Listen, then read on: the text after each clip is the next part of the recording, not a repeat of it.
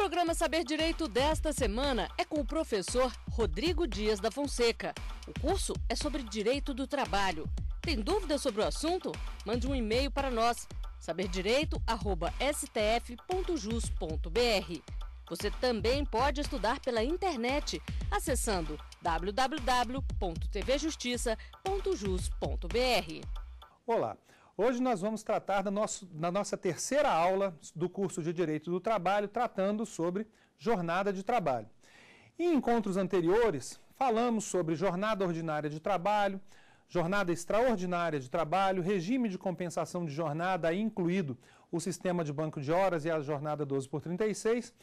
E hoje vamos tratar de um assunto importantíssimo e de uh, fundamental conhecimento para aqueles que lidam com o direito do trabalho, que são as, chama as chamadas horas in itinere. As horas in itinere, essa expressão latina, está sendo aqui utilizada porque, a rigor, os livros, a doutrina, portanto, a jurisprudência, fazem referência a esse instituto sob essa nomenclatura. Mas nós podemos nos utilizar de nomenclaturas nacionais, pátrias, como horas de percurso e hora de trajeto. Eu vou, de agora em diante, falar sempre em horas in itinere, porque, como vocês perceberão, até mesmo a, a jurisprudência sumulada do Tribunal Superior do Trabalho faz referência ao, ao Instituto sob essa expressão. Nós vimos no, na primeira aula que o tempo de percurso do empregado para o serviço e do serviço para o trabalho, esse tempo normalmente não ah, faz parte da jornada de trabalho. Determinado empregado, para que não haja nenhuma dúvida, determinado empregado que trabalhe de 8 ao meio-dia e de 2 às 6, portanto, durante 8 horas, e que leve meia hora para ir para o serviço, de casa para o serviço, e meia hora para voltar de casa para o serviço, esta hora, né, o somatório das duas meia horas, esta hora não se, não se insere na jornada de trabalho, não é computada na jornada de trabalho. O tempo que o empregado gasta para ir e para voltar do trabalho não se insere na sua jornada de trabalho. No entanto, o artigo 4 da CLT, desde a edição original da CLT em 1943, estabelece que insere-se na jornada de trabalho também não só o tempo que o empregado fica cumprindo ordens do empregador, mas ainda aquele tempo que o empregado fica aguardando ordens, submetido ao estado de subordinação típico da relação de emprego. E por conta disso, o Tribunal Superior do Trabalho, na redação original da sua súmula número 90, por, por interpretação deste artigo 4 da CLT, entendeu que se o empregador fornece o transporte para o empregado até o serviço e o retorno do serviço até, uh, para, a sua, para a sua residência, esse tempo gasto dentro do, do transporte fornecido pelo próprio empregador, de casa para o serviço e vice-versa, e desde que esse local de trabalho se situe em local de difícil acesso, não servido por transporte público, então o tempo gasto dentro do transporte fornecido pelo empregador enquadra-se, insere-se no horário de trabalho. Para que não haja, para que as coisas fiquem melhor esclarecidas ainda, se o empregador pega o empregado, leva para o serviço e de, de volta de novo no fim da jornada, aquele tempo que o empregado fica dentro do transporte fornecido pelo empregador considera-se tempo de trajeto, tempo in itinere, e ele é inserido na jornada de trabalho. Note-se que há uma lógica, né, toda uma lógica por trás desse entendimento. Imaginemos nós que o empregado que vá para o, que vá para o serviço dentro do seu próprio carro ou, de, ou a pé, ou de bicicleta, ou no transporte público. Qualquer incidente que ocorra nesse percurso, suponhamos que ele vá de ônibus e, gratuitamente, agrida o motorista do ônibus. Apesar de ter uh, tomado uma atitude censurável, se ele cumpre a sua obrigação trabalhista, se ele agride o motorista, quebra o ônibus, mas chega no serviço, trabalha normalmente, cumpre sua obrigação, o fato de haver tomado todas aquelas atitudes censuráveis no caminho para o trabalho dentro do ônibus público não causa nenhuma interferência na relação de emprego. Mas, se ele fizer a mesmíssima coisa, tomar a mesmíssima atitude dentro do ônibus fornecido pelo empregador, vale dizer, se ele agredir o motorista dentro desse ônibus fornecido pelo empregador, certamente está sujeito à punição desse empregador, uma advertência, uma censura, uma, uma suspensão, no limite até uma dispensa por justa causa. Olha, se dentro desse ônibus já existe essa possibilidade, dentro desse ônibus, dessa van, dessa Kombi, fornecida pelo empregador, já existe a possibilidade de o um empregador usar do seu poder de punição, seu poder disciplinar em relação ao empregado, é sinal de que os requisitos da relação de emprego já se encontram presentes dentro daquele veículo. Se acrescido a este fato do veículo fornecido pelo empregador, tenhamos ainda a circunstância de que o local de trabalho seja situado, seja de difícil acesso, ou diz a súmula e a, hoje também a lei, não servido por transporte público, temos configuradas, configurados os requisitos para as chamadas horas in itinere. Portanto, e resumidamente, se o empregador fornece o transporte do empregado para o serviço, e se o local de trabalho é de difícil acesso ou não servido por transporte público, dadas as duas características, o tempo gasto dentro deste transporte fornecido pelo empregador integra a jornada de trabalho. Só uma, uma, uma, um esclarecimento ainda um pouco mais detalhado sobre essa questão do local de difícil acesso ou não servido por transporte público, como diz hoje a súmula 90, inciso 1 do TST, e o artigo 58 da CLT também. Ah, local de difícil acesso é algo muito subjetivo, mas presume-se que no perímetro urbano, dentro do perímetro urbano, os locais sejam de fácil acesso. Ao contrário, na zona rural, a presunção é de que o local seja de difícil acesso. E se, uh, normalmente, ainda na zona rural, o transporte público não é fornecido, e normalmente na zona urbana o transporte público é fornecido. Daí que os dois requisitos, a rigor, né, difícil acesso, local de difícil acesso e não servido por transporte público, em vez de serem requisitos alternativos, me parece que são requisitos, são quesitos complementares. De toda forma, desde que ah, esses, esses pressupostos todos estejam presentes, então o tempo gasto dentro do ônibus fornecido pelo empregador integra a jornada de trabalho. Imaginemos uma situação prática disso. O empregador apanha o empregado em determinado local onde foi combinado, no, no, no transporte que ele próprio fornece, e às sete e meia da manhã leva o empregado até o local de trabalho, leva, por, durante 30 minutos, às 8 horas da manhã o empregado chega no serviço. Trabalha de 8 ao meio-dia, suponhamos, tem um intervalo de meio-dia até as 2 horas, até as 14, e trabalha das 14 até as 18. Agora ele sai do serviço, pega aquele mesmo ônibus, aquela mesma van do empregador que o leva de volta. E leva então nesse trajeto mais meia hora. Bem, se nós, por um acaso, est estamos frente a um caso em que o local é de difícil acesso ou não servido por transporte público, e se o ônibus ou van é do empregador, aquela meia hora para ir para o serviço e meia hora para voltar integram a jornada. O que, que significa isso no caso que eu acabo de narrar? Ele trabalhou diretamente oito horas, mais meia hora para ir, mais meia hora para voltar, nove horas. O que, que aconteceu nesse caso aí? Será devida uma hora extraordinária para esse empregado, pela integração do tempo in itinere, das horas in itinere à jornada de trabalho. Nesse sentido, convém uh, salientar a expressa disposição do artigo 58, parágrafo 2 da CLT. O tempo despendido pelo empregado até o local de trabalho e para o seu retorno por qualquer meio de transporte não enquadra na jornada de trabalho, salvo quando se tratar de local de difícil acesso ou não servido por transporte público e o empregador fornecer a condução. Não é que se esteja pagando necessariamente horas in itinere ao empregado, e sim horas extras. O fato é que o tempo in itinere enquadra-se, insere-se na jornada, tal como se o empregado estivesse trabalhando. Se houver o, o extrapolamento das oito horas diárias, evidentemente serão devidas horas extras. Nesse mesmo sentido, vamos ouvir as perguntas dos nossos espectadores. eu gostaria de saber se as horas itineris são sempre remuneradas com adicional de horas extras.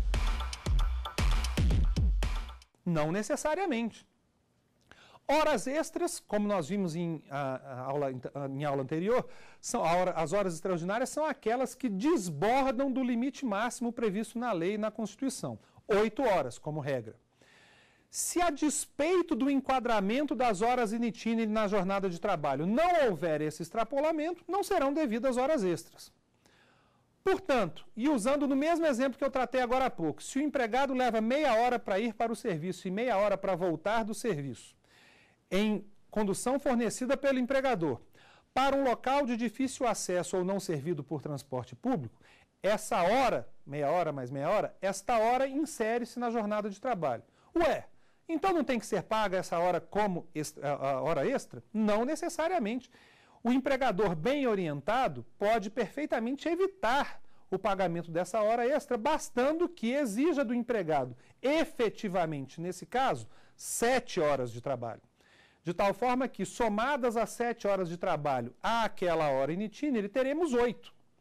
Oito horas de trabalho não tem hora extra nenhuma, não é? É preciso que o empregador faça a devida administração desses horários, de forma que não lhe torne pesado e mais caro o pagamento, a inscrição das horas in itinere na jornada do trabalho, porque, afinal de contas, as horas extras são naturalmente mais onerosas para o empregador.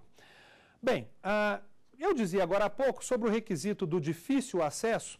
Ah, eu mencionei que na zona rural, normalmente, não há transporte público. Isso significa dizer que se a empresa se situa na zona rural, vai ser presumido o difícil acesso. Como é que a empresa que se situa na zona rural poderá elidir, afastar essa presunção de que ela se situa em local de difícil acesso e que, portanto, pode ser devedora de horas in itinere. Basta que comprove justamente a presença daquele outro requisito. Qual? O fato de haver transporte público até aquele local.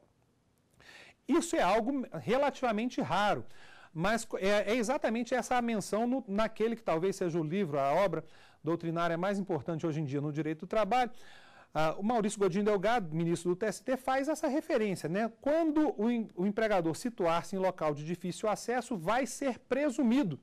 Será presum, serão presumidas que, fornecido o transporte, serão devidas horas in itinere. Bem, ah, com relação aos requisitos das horas in itinere, local de difícil acesso ou não servido por transporte público e, vez mais, condução fornecida pelo empregador, esses requisitos são básicos para qualquer hipótese, sem nenhuma dúvida, e a ideia do legislador foi de que, com essa regulamentação, a gente conseguisse dar segurança jurídica às hipóteses de horas in itinere. Mas, feliz ou infelizmente, a vida é muito dinâmica e várias situações decorreram, apareceram a partir da edição da lei e verificou-se que a normatização não bastou.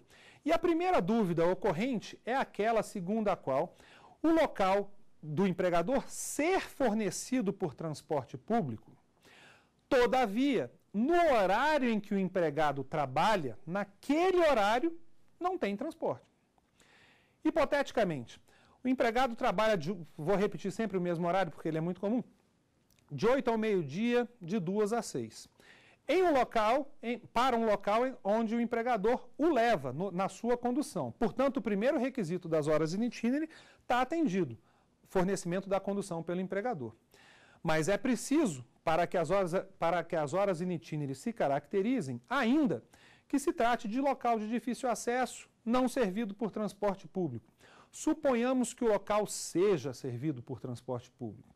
Todavia, às 8 horas da manhã, que é a hora que esse empregado entra no serviço, e às 18 horas, que é a hora que esse empregado sai do serviço, nestes horários, suponhamos nós, não tem transporte público. São outros os horários em que isso acontece. E agora, serão devidas horas in itinere? O Tribunal Superior do Trabalho sumulou essa questão em sentido positivo.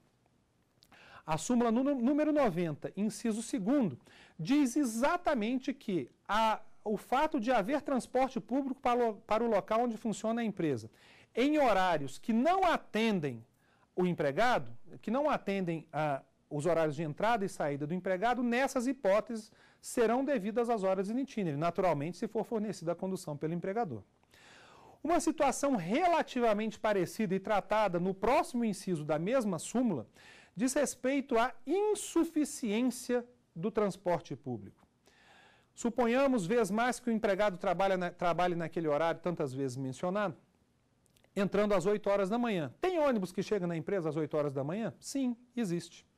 Acontece que esse ônibus é único e são 200 empregadores que entram naquele horário. Evidentemente que não é possível que os 200 empregadores sirvam-se de um mesmo veículo, do mesmo transporte público. E aí o empregador leva esse empregado para o serviço e traz de volta. Tem entendido o TST que nesta hipótese não serão devidas as horas in itinere. E não serão devidas, em primeiro lugar, porque existe transporte público naquele horário. Alguém dirá, sim, existe, mas não é capaz de atender a todos os empregados? Sim, isso é verdade e é justamente por isso que o empregador fornece o transporte. Mas prevalece o entendimento de que não é obrigação legal do empregador, não compete ao empregador cuidar da suficiência do transporte público. Essa é uma obrigação legal do próprio poder público. Não poderia o empregador ser obrigado a pagar, a despender valores uh, ter um custo a mais, uh, uma oneração a mais, quando a origem do problema situa-se na, na insuficiência da prestação de serviço público. Isso consta da súmula 90, inciso 3 do Tribunal Superior do Trabalho. Seguindo ainda falando sobre essas questões uh, relativas horas, às horas in itinere, é possível e é fácil de se imaginar que a empresa se situe num local de difícil acesso normalmente na, numa zona rural próxima à cidade, em que, no trajeto percorrido pelo ônibus, pela van, pela condução fornecida pelo empregador, esse trajeto seja parcialmente servido por transporte público. E é muito fácil de perceber isso. A van, no meu exemplo, pega, apanha o empregado no centro da cidade e leva esse empregado, como é óbvio, até a empresa, percorrendo aí, digamos, 6, 7, 8 quilômetros. Desse percurso, 2 ou 3 quilômetros são ainda dentro da cidade. E dentro da cidade, suponhamos, existe transporte público. O que eu estou querendo dizer é que é muito possível que, durante o trajeto percorrido dentro do ônibus, da van, da Kombi, da condução fornecida pelo empregador, que este trajeto seja parcialmente servido por transporte público, parcialmente não servido por transporte público. O que, é que vai acontecer nesse caso? Se a gente parar para pensar, os requisitos anteriormente traçados, dados os requisitos anteriormente traçados, se houver o transporte público até o local de trabalho, não são devidas as horas in itinere. Nesse caso que nós estamos a analisar, existe transporte público em uma parte do trajeto. Então, nesse caso, por uma questão de ordem lógica, é razoável que sejam devidas, como assim tem decidido o TST, as horas in itinere apenas naquele trecho não servido por transporte público. Suponhamos que o empregador apanhe o empregado em determinado local, conforme combinado, no centro da cidade, e o leve até o local de trabalho. E é, esse trajeto que é feito leve, digamos aí, 20 minutos. Esses 20 minutos, desses 20 minutos, 10 são dentro da cidade, são gastos no perímetro urbano onde exista ônibus. Os outros 10 são gastos a partir do momento em que se deixa o perímetro urbano até se chegar na empresa.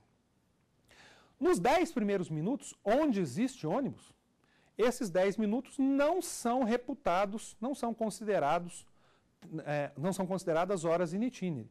Por quê? Porque existe transporte público nesse trecho. Portanto, no exemplo citado, apenas 10 minutos referentes àquele tempo gasto a partir do momento em que não há, a partir do, do trecho do trajeto onde não há transporte público, deve ser considerado.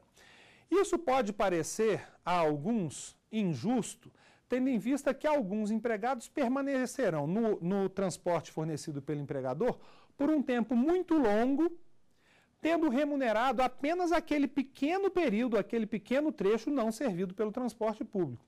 No entanto, se nós pararmos para pensar um pouco, o empregador poderia, nessa hipótese, exigir de todos os empregados para os quais ele fornece o transporte que o, esper que o esperassem, que esperassem a condução naquele último ponto da cidade, na saída da cidade, no último ponto é, é, em que é fornecido o transporte público.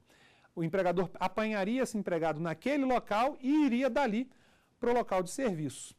O tempo gasto, o, o trajeto percorrido seria apenas aquele não servido pelo transporte público. Tudo isso em prejuízo do empregado, que na prática não precisa ir até esse local. O ônibus da empresa o apanha no meio do caminho. Esse tempo que o ônibus da empresa gasta andando na cidade, apanhando outros empregados, durante um percurso, repito, servido por transporte público, é que, por uma questão de ordem lógica e pela razoabilidade, não integra a jornada de trabalho.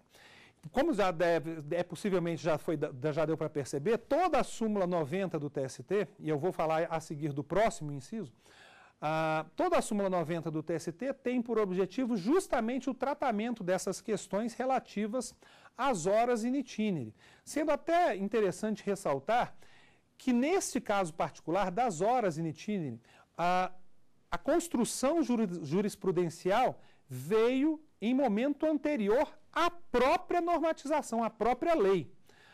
O TST, mencionei antes, interpretando o artigo 4 da CLT, traçou, em primeiro lugar, o conceito das horas in itinere, que o legislador, posteriormente, incorporou à legislação num parágrafo, no parágrafo 2 do artigo 58.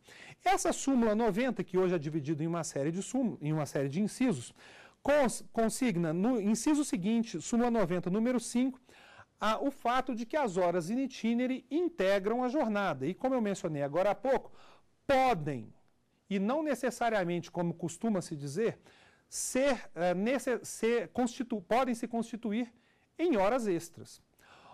Disse eu agora há pouco e eu vou repetir uh, para, para melhor fixação. As horas in itinere ne, não necessariamente configuram horas extras. Por que é que normalmente se encaram as horas in itinere como horas extras? Feliz ou infelizmente, a realidade é que os empresários, o empresariado, não nutre maior simpatia pelo Instituto das Horas in Itinere, não é? Na visão estritamente empresarial, fornece-se a condução para o serviço, o que seria um benefício para o empregado, e seria, portanto, penoso e, na visão estritamente empresarial, até injusto que se pague ainda ao empregado por esse tempo gasto na condução fornecida para o emprego. Disso decorre e também pela ignorância, pela, pelo não conhecimento da lei, disso decorre que, como regra quase absoluta, os, empregados, os empregadores não computam na jornada de trabalho o tempo in itinere. Quando, afinal de contas, em juízo, são reconhecidas as horas in itinere, portanto, o empregador, como regra quase absoluta, já exigiu do empregado no ambiente de trabalho as oito horas de serviço. E então as horas in itinere, acrescendo-se a essas oito horas, sempre serão horas extras, se caracterizarão como horas extras. Como eu tentei mostrar anteriormente ao responder à pergunta de um dos nossos espectadores, isso não precisa ser dessa forma.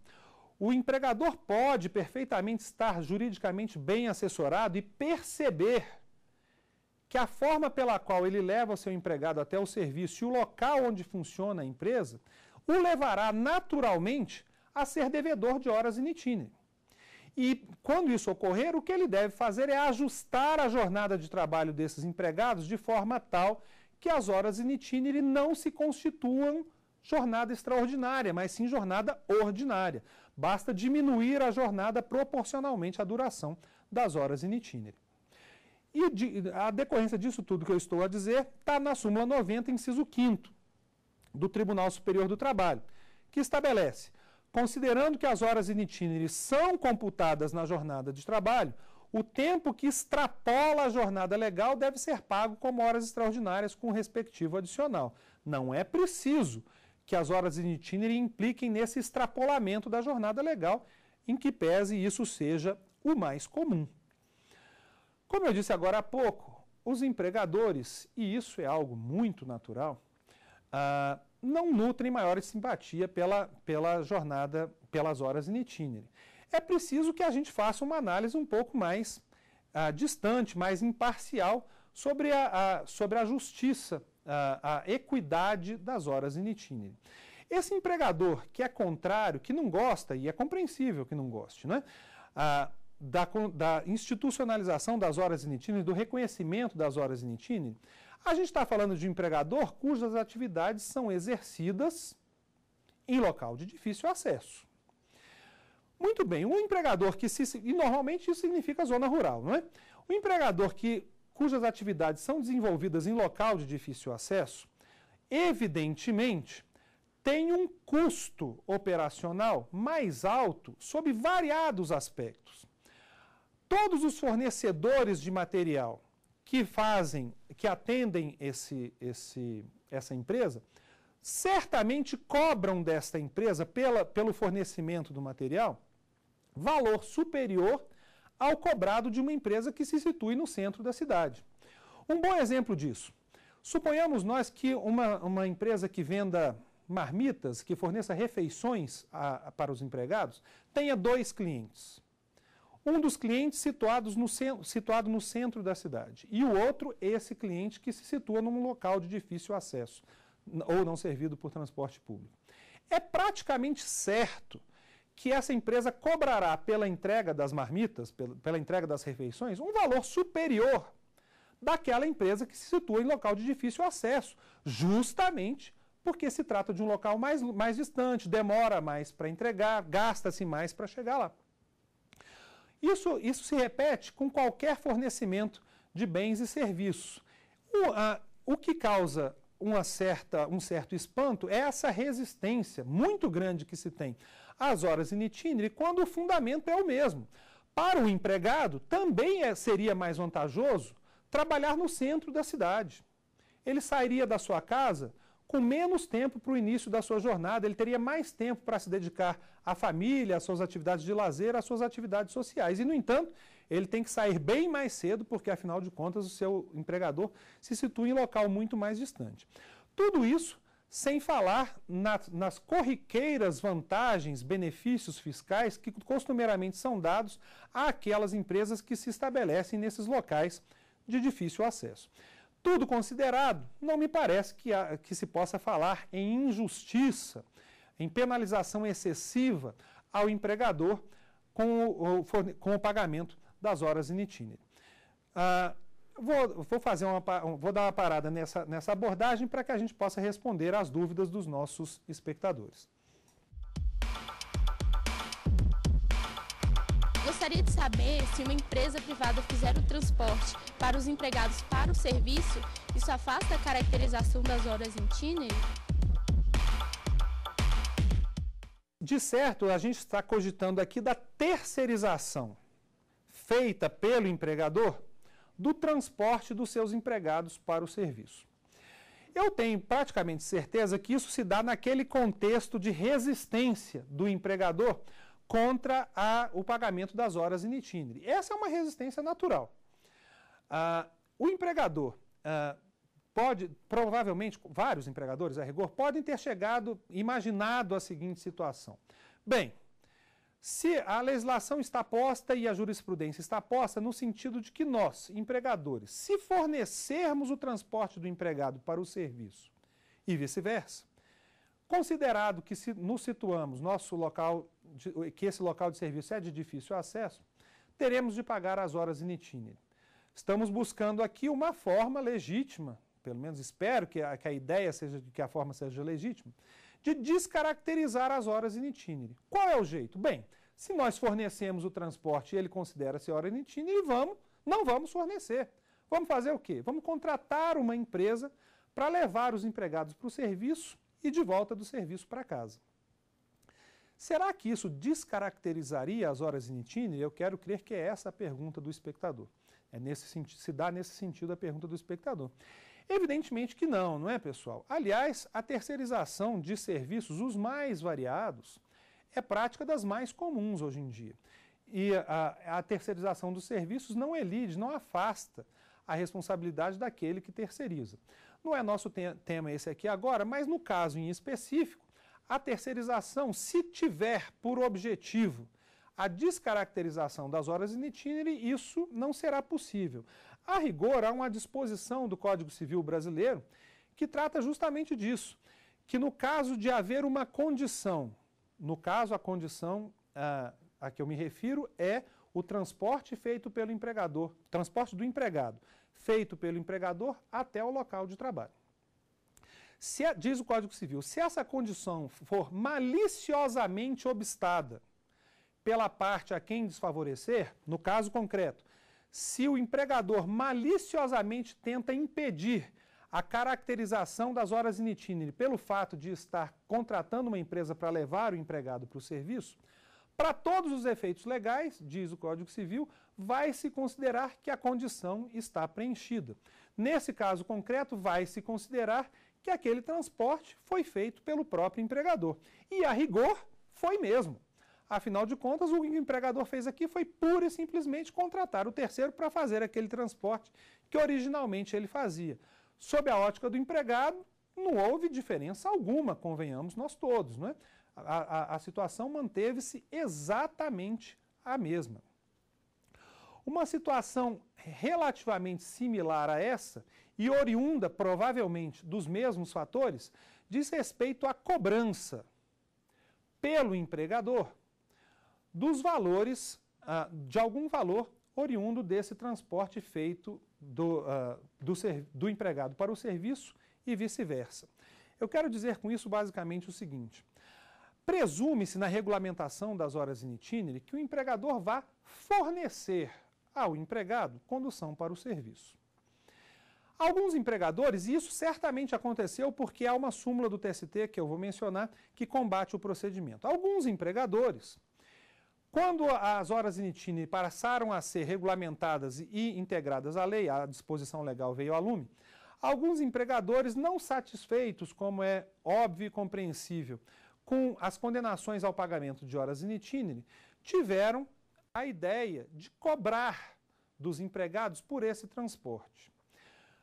Com o pressuposto de que essa cobrança pudesse descaracterizar as horas in itinere. Qual que é a ideia por trás desse procedimento? Ora, quando há transporte público para o local de trabalho, esse fato costuma descaracterizar as horas in itinere tendo em vista que um dos seus pressupostos é a ausência de transporte público para o local de trabalho.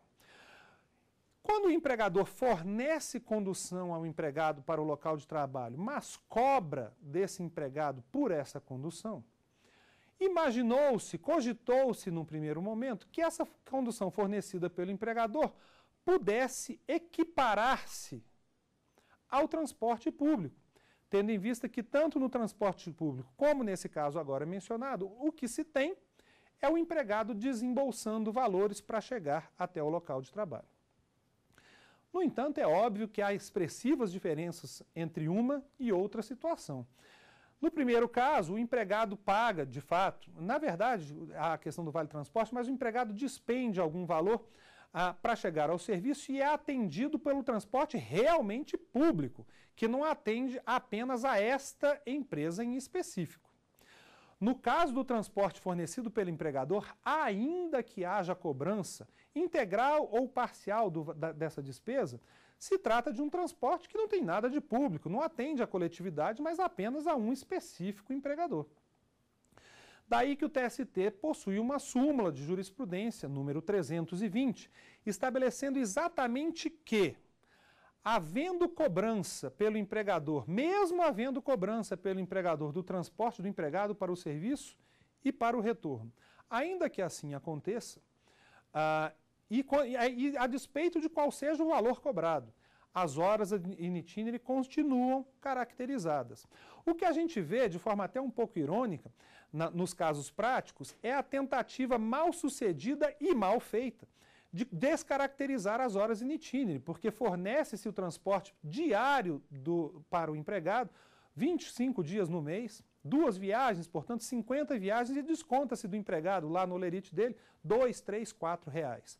Está na cara que a ideia aqui é de descaracterizar maliciosamente e como estabelece a súmula, súmula 320 do TST, maliciosamente e em vão, né? as horas in itinere, que continuarão sendo caracterizadas. Nesse sentido, súmula 320 do TST, obriga, uh, o fato de um empregador cobrar, parcialmente ou não, importância pelo transporte fornecido para local de difícil acesso, ou não servido por transporte regular, não afasta o direito à percepção das horas in itinere.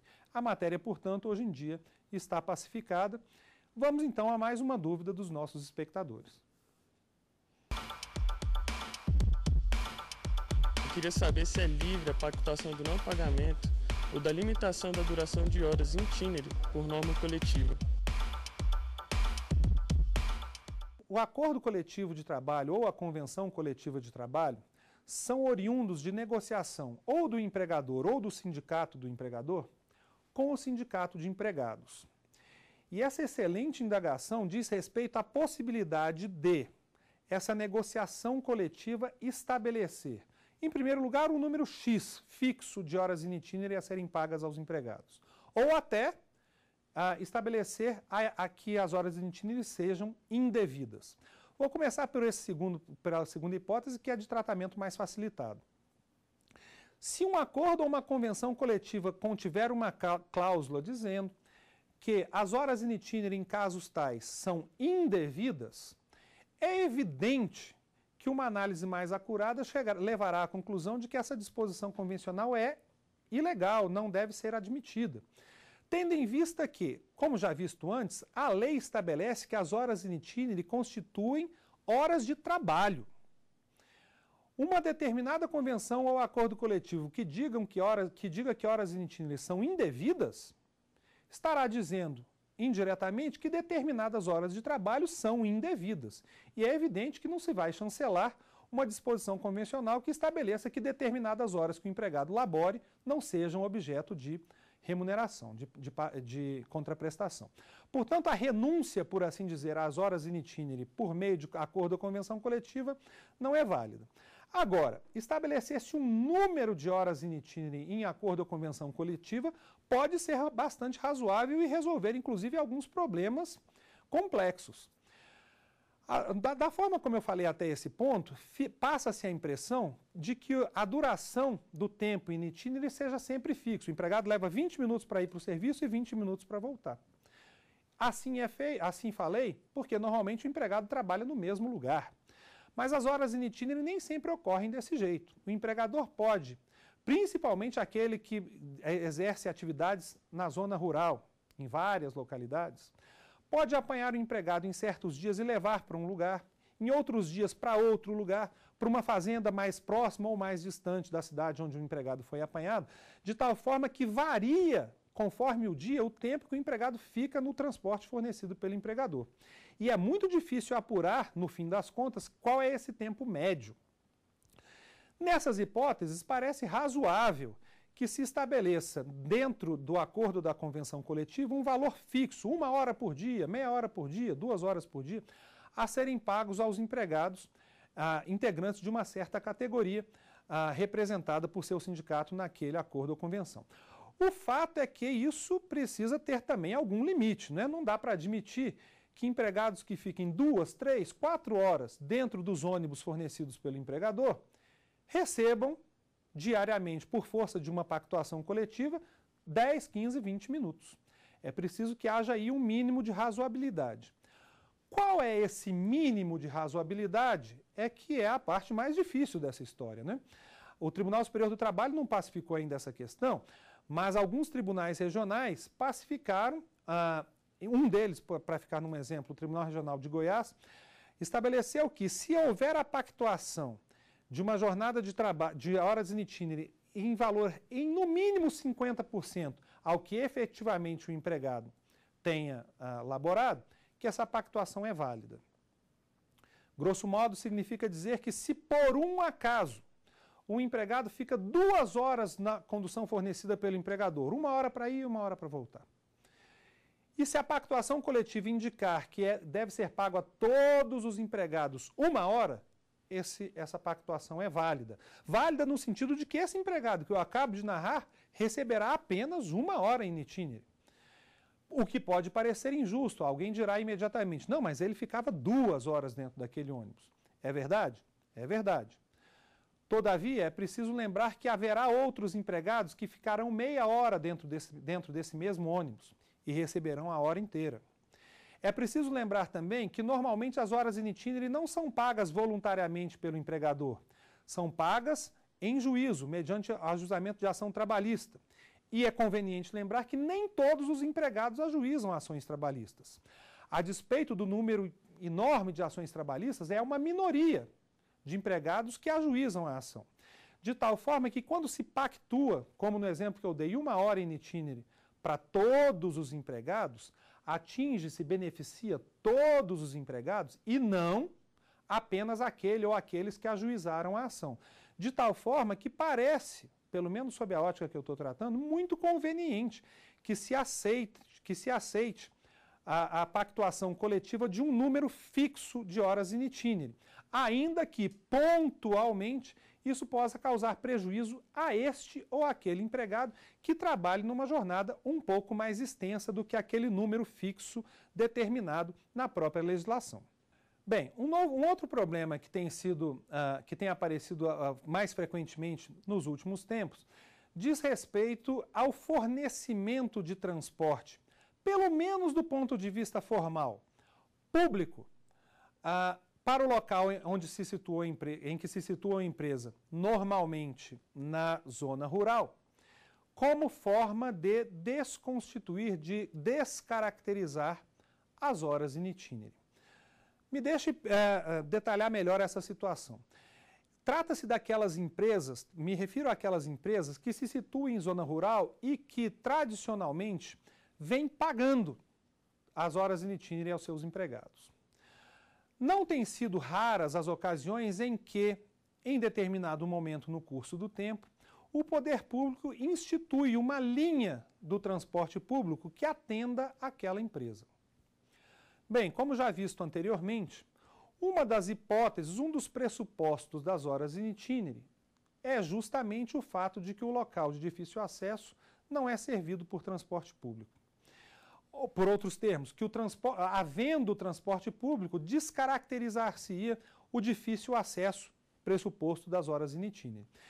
Grosso modo, o que se está dizendo aqui é, bom, se o poder público forneceu o transporte até aquele local, não é mais, não são mais devidas as horas in itinere. A grande discussão que se põe nesse caso é da legitimidade do, do tal transporte público aí fornecido. Em muitos casos, eu não diria a totalidade deles, deles, mas em muitos casos, está se referindo a fornecimento de transporte público para atender grandes empresas, que têm um número grande de empregados. E, sob essa ótica, até se justifica que haja transporte público, já que há muitos empregados que devem ir até aquela localidade.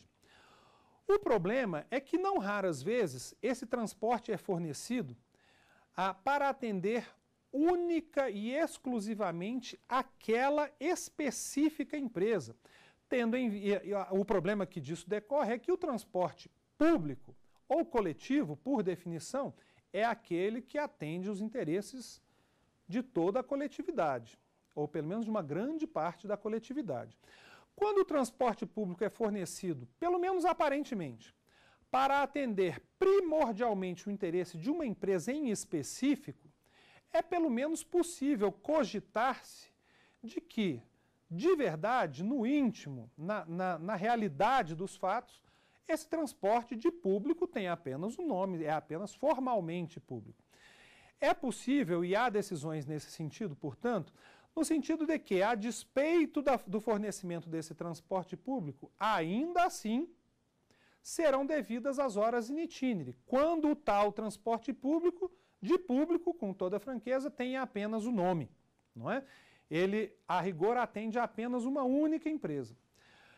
Eu tô, assim estou dizendo, mas é bom termos a, a, a devida cautela, porque os tribunais ainda se dividem a esse respeito, havendo até, diria eu, uma tendência de, considerando que o poder público, que os atos do poder público têm o que se chama de presunção de legitimidade, presume-se que se o poder público instituiu uma linha de ônibus até aquela localidade, presume-se a sua necessidade e que, havendo a linha de ônibus, então, fica ficam descaracterizadas as horas in itinere.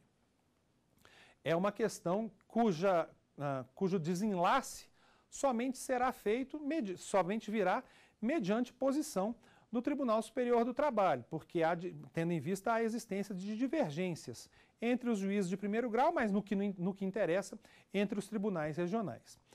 As horas in itinere ah, têm, por decorrência das horas in itinere, uma série de problemas têm surgido, decorrentes da sua regulamentação, alguns inclusive muito interessantes.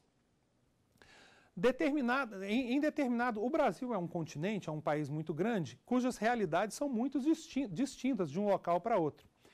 Ah, no norte do país, tive pessoalmente contato com uma hipótese de horas in itinere que dificilmente poderá ser objeto, será objeto de regulamentação, mas que mostram o quanto essa matéria é capciosa, é delicado o seu tratamento. Determinado empregador que, sem a menor sombra de dúvida, situava-se em local de difícil acesso e não servido por transporte público, fornecia transporte aos seus empregados. Acontece que ah, esses empregados passaram a ajuizar ações trabalhistas e terem reconhecidas as horas in itinere. Naturalmente, isso fez aumentar o custo empresarial, que não, ele, a empresa não ficou satisfeita, não é? E ao não ficar satisfeita, qual era a solução? Qual foi a solução que foi buscada? Uma possível solução é, e sempre é, infelizmente, não é? Bom, se eu forneço o transporte e esse transporte está tornando oneroso, oneroso demais para mim a prestação de serviços, então eu, empregador, não mais fornecerei o transporte. É um equívoco, né? porque o empregador, nesses casos, não está fornecendo o transporte como um benefício ao empregado, né? porque, ele é, é porque em, sentido de benevolência, fornece o empregado o, o transporte nesses casos porque, do contrário, o empregado não chegará no serviço, já que se trata de local de difícil acesso, não servido por transporte público. Naquele caso específico no norte do país, qual foi a solução então que o empregador trouxe? Resolveu cortar o transporte que fornecia aos empregados e deu a todos os seus empregados, deu a todos os empregados uma bicicleta. A suposição natural é de que com essa bicicleta os empregados chegassem ao serviço no horário normal por seus próprios meios, né, até por seu próprio esforço físico, e que isso descaracterizaria as horas in itinere. Vejam que isso é uma situação tão peculiar que não é sequer possível, a priori, definir taxativamente se, essa, se esse procedimento é razoável, é legítimo e se caracteriza ou descaracteriza as horas in itinere. O fato é que isso mostra muito claramente a insatisfação empresarial com a forma como o Instituto é tratado hoje em dia. E, de fato, o empresário acaba por pagar o preço da insuficiência, da má, uh, da insuficiência mesmo, do transporte público, né? que se fosse absolutamente eficiente, não haveria uh, a caracterização das horas in itinere.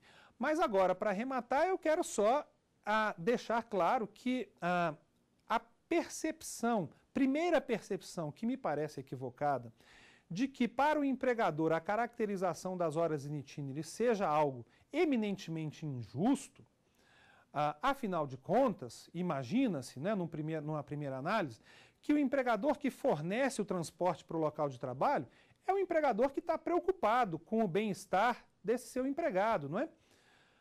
Afinal de contas, estamos falando de um empregador que ah, em vez de exigir que o empregado se vire né, para chegar no local de difícil acesso, o busque em determinado local e, e, o deixe em determinado local, em regra, próximo da sua residência. Acontece, pessoal, que os empregadores que fazem isso e que são eventualmente condenados ao pagamento de horas in itinere, por definição, são empregadores que se estabelecem no tal local de difícil acesso. O que, que será que aconteceria se esse empregador não fornecesse o transporte aos seus empregados. A grande verdade é que a atividade empresarial se inviabilizaria, porque os empregados não conseguiriam chegar até lá. Daí que, neste caso, as horas in itinere são devidas porque o transporte fornecido, embora representem uma vantagem para o empregado, atendem primordialmente o interesse do empregador. É diferente daqueles casos em que o transporte é fornecido com verdadeiro caráter de benefício, de benevolência. Quando uma empresa se situa num local, agora sim, servido por transporte público e mesmo assim a empresa fornece o transporte para o empregado. Neste caso, sim, o empregador está atuando em benefício do empregado, porque afinal de contas agora o empregado poderia ir para o trabalho usando o transporte público. E nesse segundo caso, não haverá condenação de horas a horas in pela própria existência do transporte público. De tal forma que, francamente, a regulamentação me parece justa. A única injustiça existente em toda, em toda essa em toda esse, eh, esse, essa regulamentação das horas in itinere reside justamente na deficiência do transporte público, mas isso não se pode imputar, se não ao empregador, mas também não ao empregado. Meus caros, a respeito de horas in itinere, ou horas de percurso, ou horas de trajeto, essa é a regulamentação traçada no artigo 58, parágrafo 2 da CLT e na súmula 90 do Tribunal Superior do Trabalho e em todos os seus incisos. Se, qualquer, se houver dúvidas a respeito dessa aplicação ah, ah, das horas in itinere ou de matérias conexas a essas, vocês podem escrever, mandar os seus e-mails que nós responderemos. Muito obrigado. Tem dúvidas sobre o assunto? Mande um e-mail para nós, saberdireito@stf.jus.br. Você também pode estudar pela internet acessando www.tvjustiça.jus.br.